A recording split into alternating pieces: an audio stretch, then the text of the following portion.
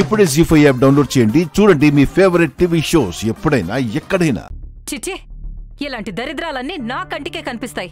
నాకెందుకో ఈ పున్నమి పృథ్వీని వలలో వేసుకోవడానికి ప్రయత్నిస్తుందనిపిస్తుంది. అప్పుడు అంత మంచి అమెరికా సంబంధం వస్తే వద్దని చెప్పి నాకు చిన్న అనుమానాన్ని పుట్టించింది. అప్పటి నుంచి గమనిస్తూనే ఉన్నాను. ఎప్పుడు చూసినా పృథ్వీ వెంటే పడుతుంది.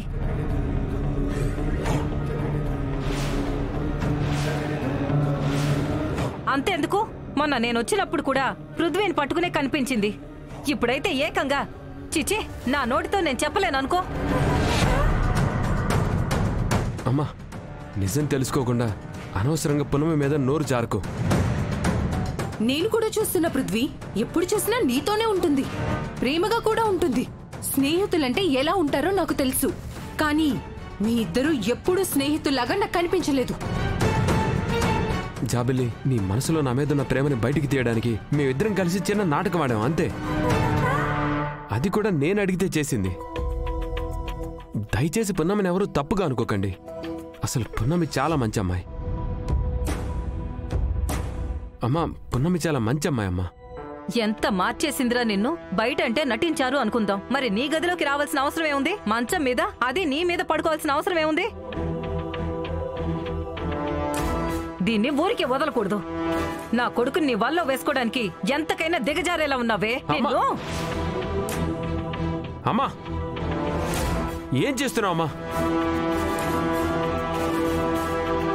అమ్మో అమ్మో నా కొడుకుని నా మీద తిరగబడేలా చేస్తావు నువ్వు. నువ్వు మాయలాడివే.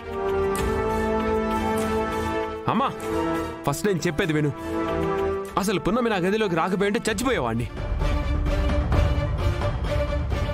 ఏం మాట్లాడుతున్నావు పృథ్వీ? అవునమ్మా.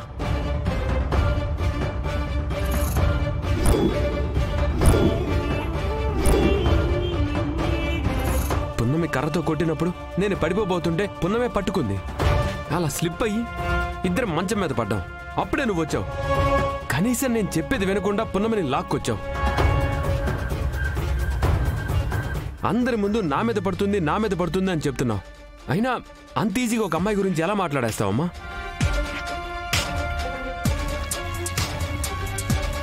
పున్నమి కల్లో కూడా నా మీద తప్పుడు ఆలోచనలు కలగవమ్మా.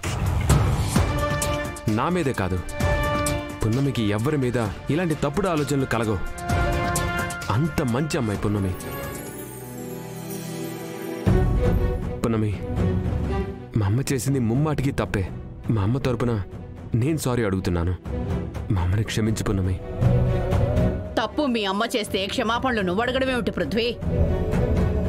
మీ అమ్మే అడుగుతుంది. లక్ష్మి పున్నమి మీద చాలా అభాండాలు వేశావు. తప్పుడు మనిషిలాగా చూసి అవమానించావు. క్షమాపణలు చెప్పాల్సింది నువ్వు.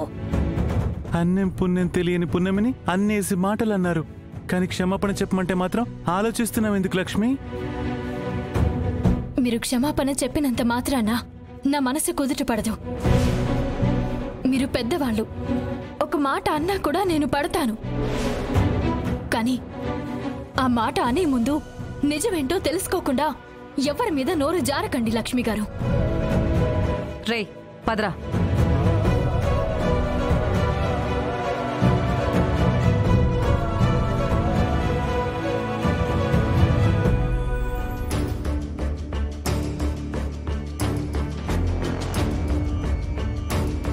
పన్నీరు చల్లుతున్నారో తెలియదు దురద మందు చల్లుతున్నారో తెలియదు. ఆ పన్నీరు చల్లాకే ఇలా దురద పుడుతుంది.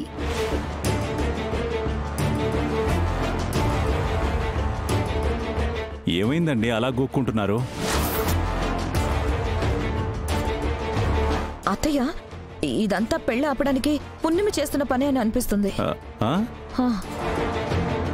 పున్నం ఎందుకు ఇలాంటి పని చేస్తుంది? అనవసరంగా మీరు పున్నం మీద నిందేస్తున్నారు. థింక్ చేయడం ఏంటి బావగారు? పన్నీరు చల్లుతుంది పున్నమి. పన్నీరు చల్లించుకున్న అందరూ దురదలతో బాధపడుతున్నారు. దీన్ని బట్టి చూస్తుంటే అర్థం అవటం లేదా? ఇదంతా పున్నమి పనని.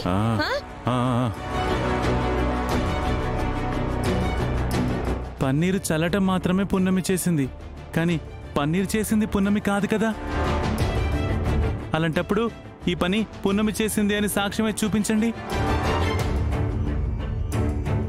డైరెక్ట్గా చూస్తున్నాం కదా శివదేవ్ గారు. ప్రత్యేకంగా సాక్ష్యం ఎందుకు? ఆ ఆ పున్నమి కొండమల దగ్గరికి వెళ్తే సాక్ష్యం అదే దొరుకుతుంది. ఆ. పెద్దమ్మ రండి.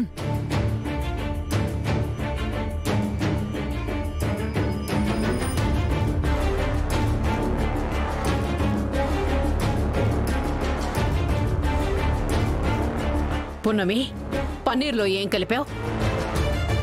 పన్నీర్లో ఏం కలుపుతాను పెద్దమ్మ గారు? నేనైతే ఏం కలపలేదు. ఇక్కడున్న పన్నీర్ని జల్లుతున్నాను. మరి లోపల వాళ్ళంతా?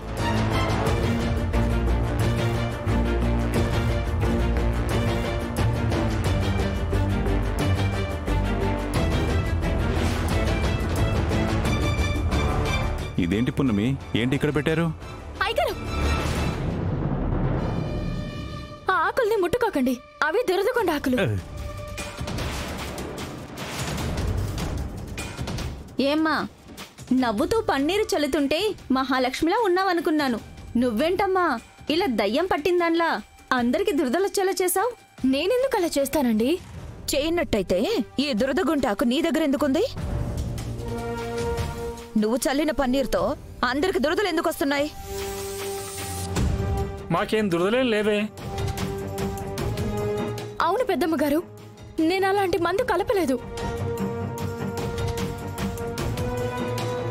మీకు కూడా ఈ పున్నమే చల్లిందా? లేదు ఇందాక వేరే వాళ్ళు చల్లారు. చూసారా అత్తయ్య? దొంగ దొరికిపోయింది. పున్నమి రాకముందు చల్లిన పన్నీర్తో ఎలాంటి దురద రాలేదు. కానీ పున్నమి చల్లిన పన్నీర్తో దురదలు మొదలయ్యాయి. ఇంతకంటే సాక్ష్యం ఏం కావాలి బావగారు? పున్నం అలా ఏం చేసి ఉండదు? అందుకేనమ్మా ఇలాంటి వాళ్ళ ఇంట్లో కంటే బయట ఉండడమే మంచిది. లోపలుంటే ఏదో ఒకటి చేసి పెళ్ళి ఆపేస్తారు. దీన్ని బయటికి గెంటేయండి. పెద్దమ్మ గారు నిజంగా నాకేం తెలీదు. అసలు ఈ దురదగొండాకు నేను ఇప్పటి వరకు ఎక్కడ వాడింది కూడా లేదు. ఏయ్ ఆపో.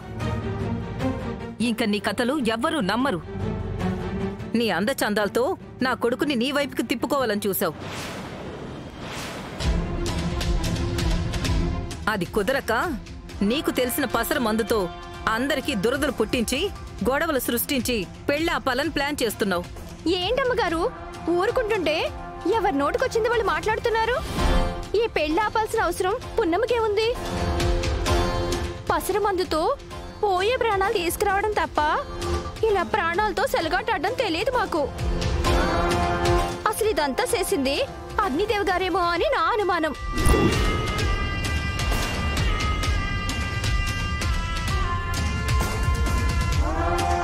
జీ యాప్ డౌన్లోడ్ చేసి అన్ని ఎపిసోడ్స్ పూర్తి ఉచితంగా చూడండి.